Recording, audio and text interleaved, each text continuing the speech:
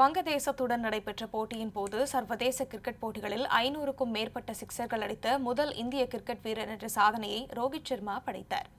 வங்கதேசத்தில் சுற்றுப்பயணம் மேற்கொண்டுள்ள இந்திய கிரிக்கெட் அணி மூன்று ஒருநாள் போட்டிகள் கொண்ட தொடரில் விளையாடி வருகிறது. இதுவரை நடந்த இரு போட்டிகளிலும் வங்கதேசம் வெற்றி பெற்று தொடரை கைப்பற்றியது. நேற்று நடைபெற்ற இரண்டாவது ஒருநாள் போட்டியில் காயம் காரணமாக கடைசி கட்டத்தில் இறங்கி அதிரடியாக ஆடிய ரோஹித் சர்மா இருபத்தி எட்டு பந்துகளில் ஐந்து சிக்சர்கள் மூன்று பவுண்டரிகள் என ஐம்பத்தி ஓரு ரன்கள் விளாசினர் அப்போது சர்வதேச கிரிக்கெட் போட்டிகளில் ஐநூறுக்கும் மேற்பட்ட சிக்சர்கள் அடித்த முதல் இந்திய கிரிக்கெட் வீரர் என்ற சாதனையை ரோஹித் சர்மா படைத்தார். ஒருநாள் போட்டிகளில் இருநூற்று ஐம்பத்தி ஆறு சிக்சர்களும் டி டுவெண்டி தொடரில் நூற்றி எண்பத்தி இரண்டு சிக்சர்களும் டெஸ்ட் தொடரில் அறுபத்தி நான்கு சிக்சர்களும் ரோஹித் சர்மா விளாசியுள்ளார்.